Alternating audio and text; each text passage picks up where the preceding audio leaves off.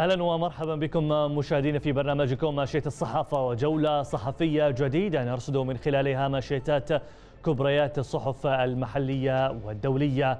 نرحب معكم مشاهدينا بضيفي في الاستديو رسام الكاريكاتير محمد ثلاب. حياك الله معنا. يا هلا حياكم الله.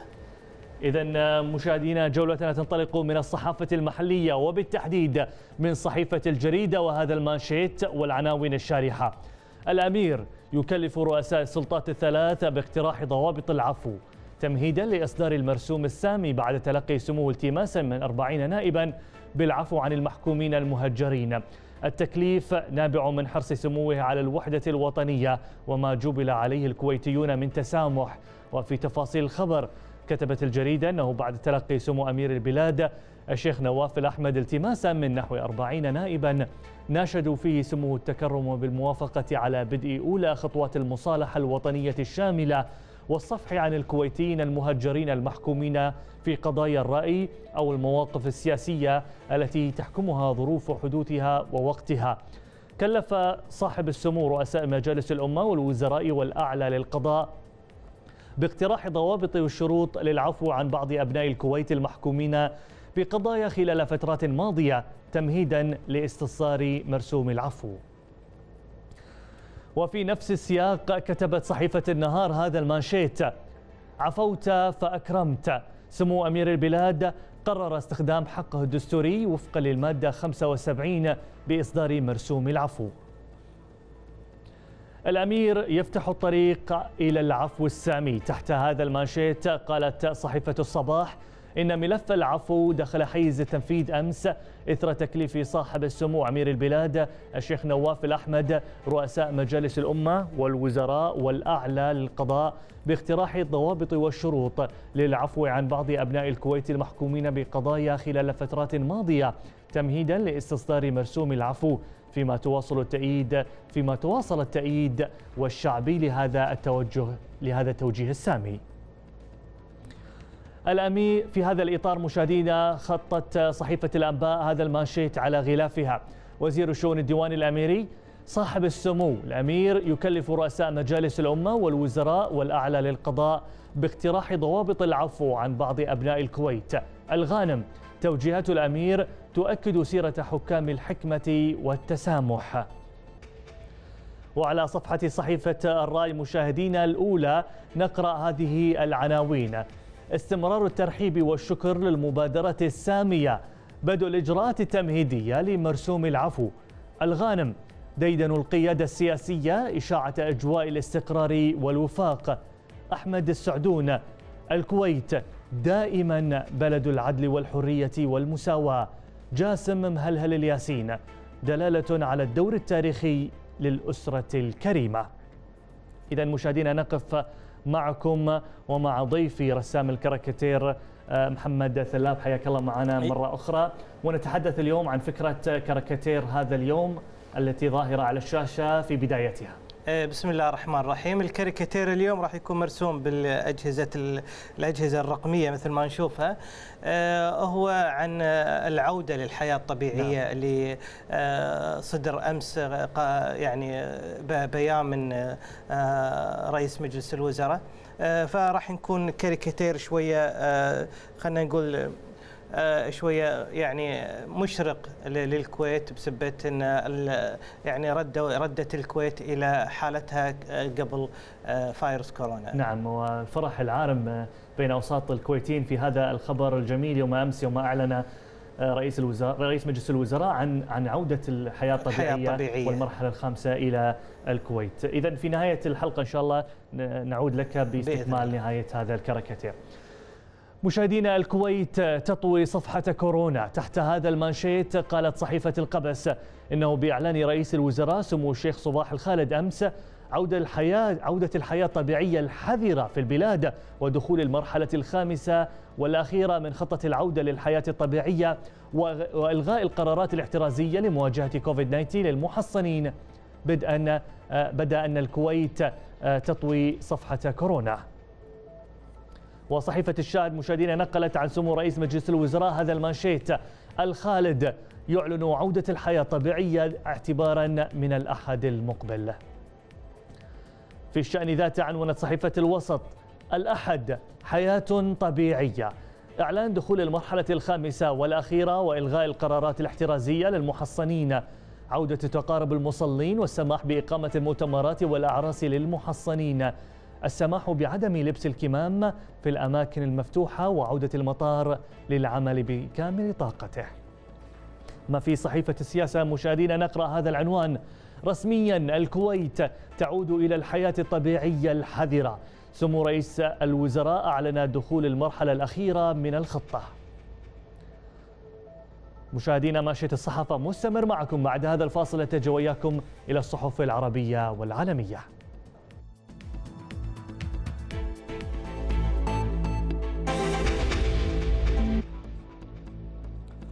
الكويت ترفع قيود كورونا وتعلن عودة الحياة الطبيعية.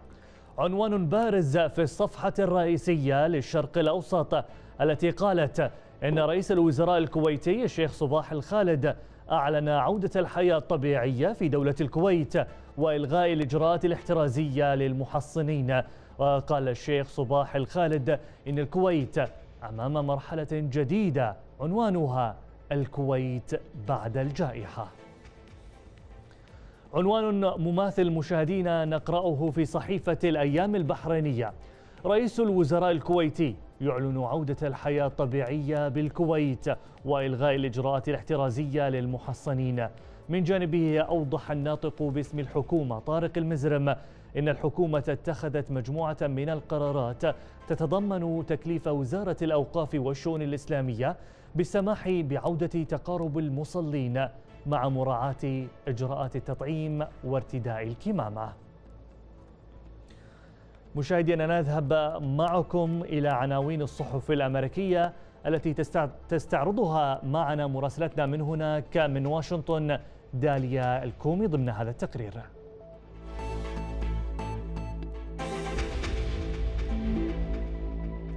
أعزائي المشاهدين صباح الخير. آه، مرة أخرى أصحابكم في جولة من العاصمة الأمريكية واشنطن لأهم ما تناولته كبريات الصحف الأمريكية والمجلات.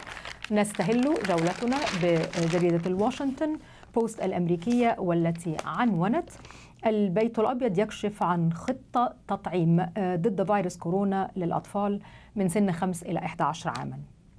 قال البيت الأبيض إنه إذا تم السماح باستخدام آه، لقاح آه، للأطفال فسيتم توزيع الجرعات بسرعة وإتاحتها بشكل ملائم ومنصف للعائلات في جميع أنحاء آه، الولايات. أصدر البيت الأبيض خطتي لتطعيم الأطفال الذين تتراوح أعمارهم بين خمس سنوات وإحدى عشر عاما في انتظار الحصول على إذن من إدارة الغذاء والدواء الأمريكية لأول لقاح ضد كوفيد 19 لتلك الفئة العمرية. البيت الأبيض أكد أنه إذا حصل آه، على هذا على هذه الإجازة عفوا سيكون لديه إمدادات كافية من اللقاحات لتجهيز أكثر من 250 ألف مكتب رعاية أطفال آه، ورعاية أولية ومئات من عيادات الصحة المدرسية والمجتمعية فضلا عن عشرات الألاف من الصيدليات لإدارة حملة التطعيم.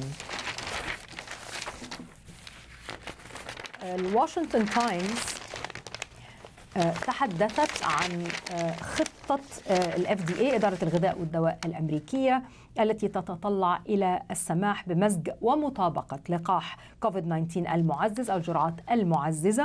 كما ورد في التقرير أن إدارة الغذاء والدواء تخطط للسماح للأمريكيين بتلقي لقاح كوفيد 19 كمعزز يختلف عن اللقاح الذي تلقوه. في البداية استراتيجية الخلط والمطابقة التي توفر المرونة للقائمين بالتحصين. آه، صحيفة النيويورك تايمز آه، نشرت الخطة لأول مرة وقالت آه، أن القرار الذي سيتخذ في وقت متأخر من هذا الأسبوع عندما يأذن المنظمون بالتعزيزات الخاصة.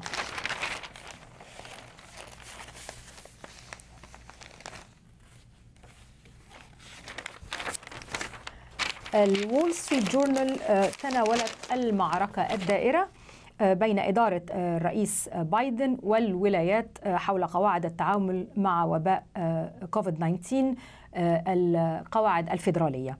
حيث تتحرك وزارة العمل لإلغاء الإشراف على السلامة في أماكن العمل من كل من يوتا أريزونا وساوث كارولاينا. مؤكدة أن هذه الولايات فشلت في تبني معايير أكثر صرامة للتعامل مع الفيروس.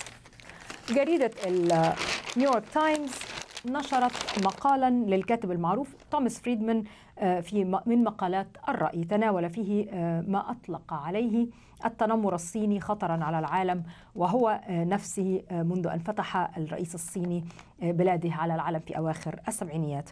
أراد الكثيرون في الغرب حسب فريدمان في رؤية البلاد تنجح لأنهم اعتقدوا أن الصين على الرغم من هيكلها السياسي الاستبدادي حسب كاتب المقال كانت تعمل إلى اقتصاد ومجتمع أكثر انفتاحا. مع الأسف عكس الرئيس الصيني هذه الخطوات بطرق يمكن أن تشكل خطرا حقيقيا على التنمية المستقبلية للصين وخطرا حقيقيا على بقية العالم حسب ما قال فريدمان.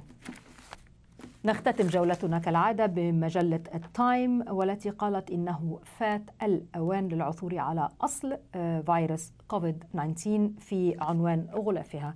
منظمة الصحة العالمية تحاول على أي حال حسب التايم عقب مرور عامين تقريبا على انتشار الوباء ولا يزال غير واضح كيف وأين ومتى بدأ فيروس كوفيد 19 في إصابة المواطنين. يعتقد العديد من الخبراء أن الفيروس قفز من مضيف حيواني إلى إنسان ولكن الباحثين يواصلون التحقيق في احتمال هروبه من المختبر كشفت منظمة الصحة العالمية حسب المقال عن جهد جديد يتم تكليف من خلاله مجموعة استشارية بمعرفة ما يمكن التوصل إليه من معلومات وكذلك تبسيط الدراسة العالمية لمسببات الأمراض الناشئة في المستقبل على أمل فهم الأصول والانتقال بطريقة أو بسرعة أكبر حتى يمكن احتوائها في المستقبل. أعزائي المشاهدين نعود بكم مجددا إلى زملائي في استوديو منشط الصحافة. شكرا لحسن المتابعة ودمتم في أمان الله. كانت معكم داليا الكومي من العاصمة الأمريكية واشنطن.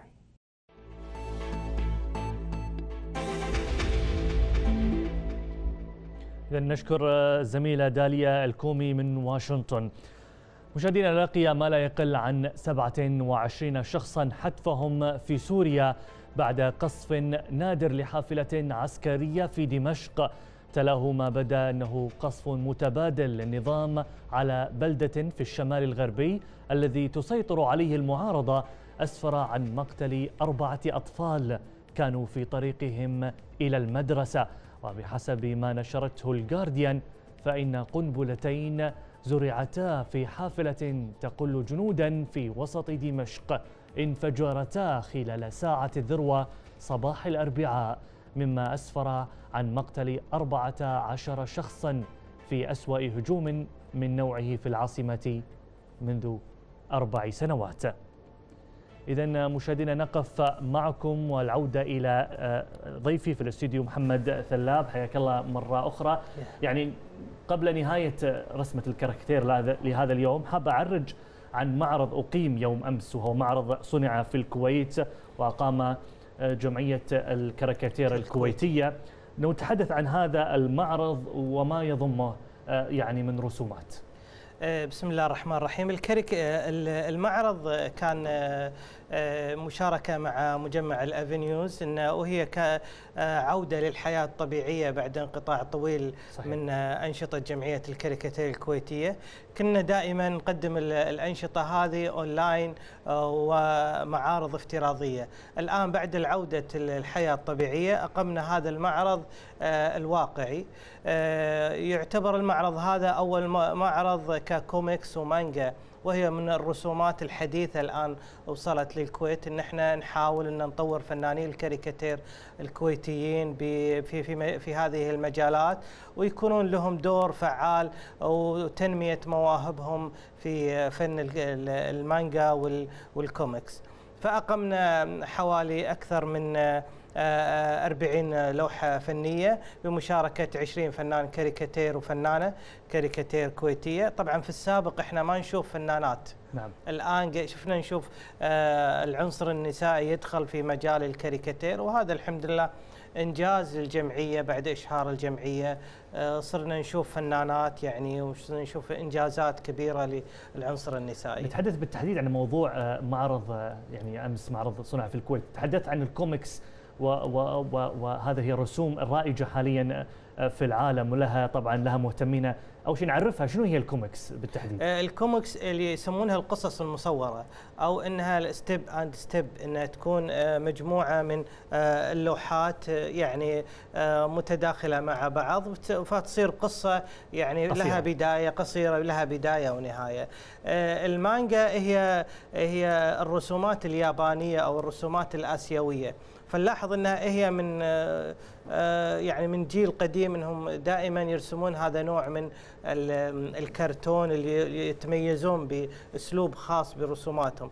فإحنا في السابق كنا نتابع آه، الرسومات المتحركة مثل فلونا مثلا آه، سندباد آه، مثلا القصص هذه بدايتها كانت كلها من الرسوم المتحركة اللي هي الكوميكس اللي هي الأنمي نعم. ال animation اللي كانت موجودة في السابق تأثروا حيل الآن فصارت الآن ترسم كرسومات آه، كرتونية نعم. فإحنا كل واحد رسام كاريكاتير يعني مهتم بهذا المجال قاعد يرسم الرسومات هذه بأسلوبه الخاص نعم. بعضهم عرب الرسومات هذه بعضهم خلاها كويتية يعني لبس الشخصيات هذه آه، غترة وعقال وغيرها. شخصية ويصنع لها شخصية آه، طبعا. كاملة. يعني مثل مثل أي آه، مسلسل ممكن يكون لكن عن طريق الكتب والرسوم المتحركة في داخل هذه الرسوم. طبعا لها شهرة واسعة ولها محبينها كبار في العالم يعني صحيح. ولها كتب لها لها يعني أسلوب خاص لها يعني ناس آخرين قاعدين يهتمون بهذا الفن. آه، لكن إحنا كدورنا جمعية الكاريكاتير الكويتية لاحظنا إن في اهتمام خاصة مجموعة الشباب صحيح. اللي يهتمون بهذا المجال. فأقمنا هذا القسم قسم خاص فيهم اسمه قسم الكوميكس والمانجا داخل جمعية الكاريكاتير الكويتية. ويعني رئيسة القسم الفنانة أمل البقشي أيضا هي مهتمة في مجال الكوميكس وباحثة حيل في مجال الكوميكس والمانجا. فأشهرنا هذا القسم الصغير. الآن لاحظنا القسم صار كبير. نعم. يعني مشاركة أكثر من 20 فنان كاريكاتير. أعتقد إن هذا إنجاز له. نعم. انضموا انضموا إليه كثير من الناس لأن فعلا له رواجة وله محبينه ومهتمين حتى في الكويت وأيضا في العالم. طبعا أكيد. نعم. إذا آه، نعود معك آه، إذا بعد قليل إن شاء الله ونستكمل معكم مشاهدينا في صحيفة ياني شفقة تركيا الناتو يعلن انفتاحه على الحوار مع روسيا الأمين العام لحلف شمال الأطلسي الناتو يانس ستولتنبرغ أعلن عن أسفه لقرار روسيا وقف عمل بعثتها الدائمة لدى الحلف مؤكدا آه، انفتاح الناتو على الحوار مع موسكو. وأكد أن المقترحات الخاصة باجتماع مجلس الناتو وروسيا الذي انعقد آخر مرة في عام 2019 لا تزال سارية. قالت لوموند إن اليمين المتطرف إريك زمور الذي لا يزال يحافظ على غموض ترشيحه للانتخابات الرئاسية صوب بندقية عالية الدقة تم تفريغها على الصحفيين أمس خلال زيارته لمعرض مخصص للأمن الداخلي آه، في سان آه، في سين ساندوني. وتدارك الموقف بالقول إنه كان يمزح. مشاهدينا وصلنا وإياكم إلى المقال بعد هذا الفاصل.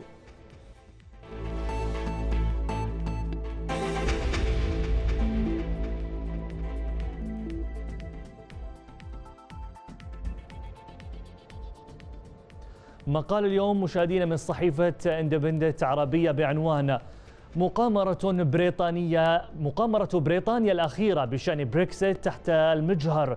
يقول فيه كاتب شون أوغرايدي إنه من الملفت أن المملكة المتحدة استطاعت أن تنتزع عددا من التنازلات من الاتحاد الأوروبي على غرار ما فعلته في الجولة الحالية من المباحثات التي لا تنتهي حول بريكزيت وذلك نظرا للتفاوت في القوة الاقتصادية النسبية للجانبين. جادلت الحكومة البريطانية وحلفاؤها الوح الوحدويون في إيرلندا الشمالية أشهرا عدة بأن تطبيق الاتحاد الأوروبي بروتوكول إيرلندا الشمالية على نحو قانوني وحريص جدا على التفاصيل من شأنه حرمانة من الشعبية وإظهاره كشيء سخيف.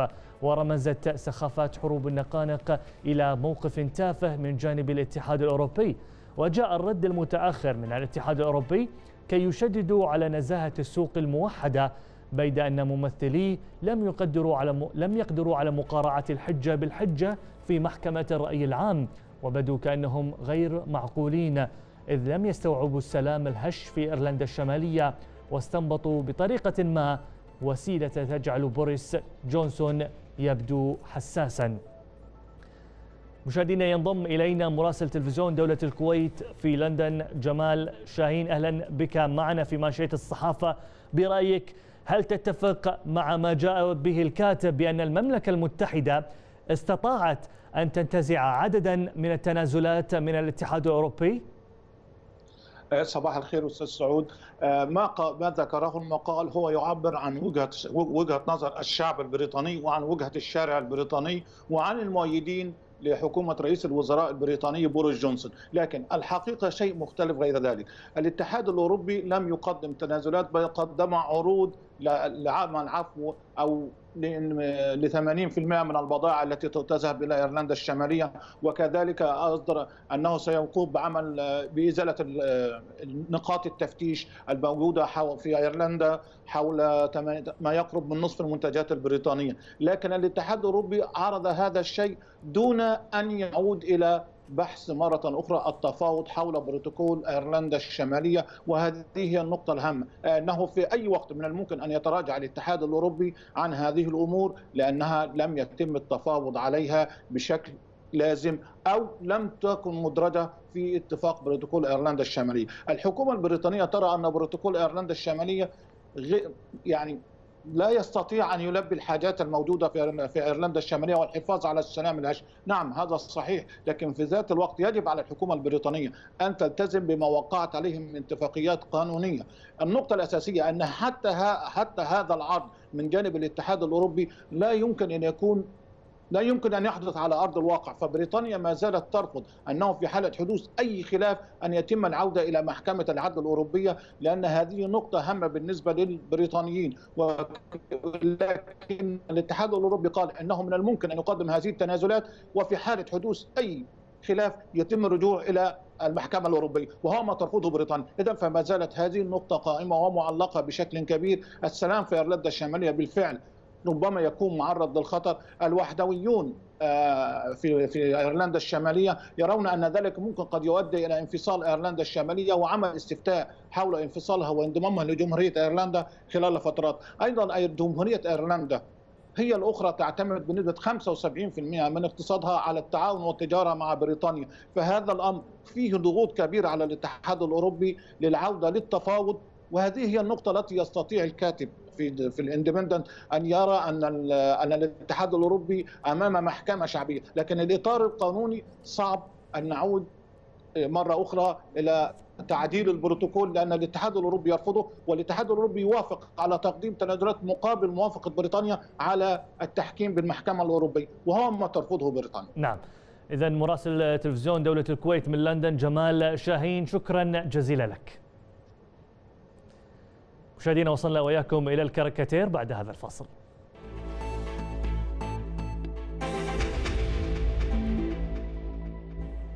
العودة مجددا مشاهدينا إلى ضيفي في الاستوديو رسام الكاريكاتير محمد ثلاب. حياك الله. مرة أخرى يبدو أن رسمة رسمة الكاريكاتير جاهزة نتحدث عنها أكثر بالتفصيل.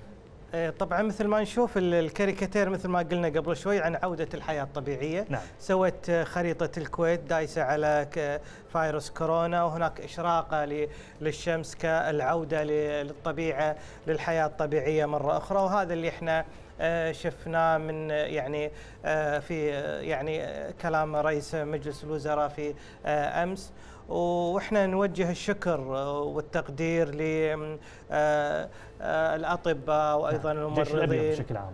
وأيضا المواطنين ككل صحيح. على يعني تفاعلهم ويعني التزامهم بالإجراءات الصحية الموجوده اللي كانت موجودة. وهذا يعني ناتج اللي صار يعني الالتزامات اللي صارت. الحمد لله ردينا مره أخرى كحياه طبيعيه. اللهم لك الحمد صوره معبرة فعلا وهي خريطة الكويت وهي يعني تتغلب على فيروس آه، كورونا طبعا. في هذه الرسمة الجميلة لكن دائما نؤكد آه، محمد أن أن العودة تكون بحذر بحذر نعم طبعا آه، أن أن الفيروس لم ينتهي بشكل كامل أكيد طبعا. مثل ما ذكر وزير الصحة يوم أمس لكن بسبب انخفاض الإصابات ويعني توسعت نسبة التطعيم بشكل كبير آه، يعني تقدر نقول تغلبنا عليه بشكل كبير. بشكل كبير أكيد نعم. طبعا أكيد. بهذا الكاريكاتير الجميل مشاهدينا وصلنا وإياكم إلى نهاية حلقتنا من من ماشيه الصحافة. ما يسعني لأن أشكر ضيفي بالاستديو رسام الكاريكاتير محمد ثلاب. شكرا جزيلا لك. مشكورين يعطيكم العافية. الشكر موصول لكم مشاهدينا لطيب المتابعة. نلقاكم في حلقة جديدة من ماشيه الصحافة في بداية الأسبوع القادم إن شاء الله. إلى اللقاء.